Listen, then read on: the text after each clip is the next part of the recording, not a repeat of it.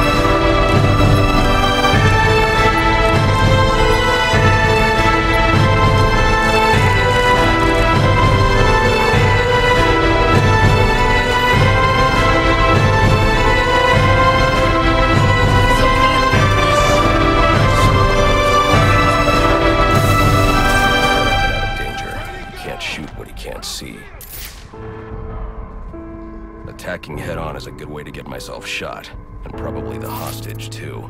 But they won't expect an attack from above. Nobody ever does. Is that thing out there with you? Are you crazy? We were answering the service call, that's it?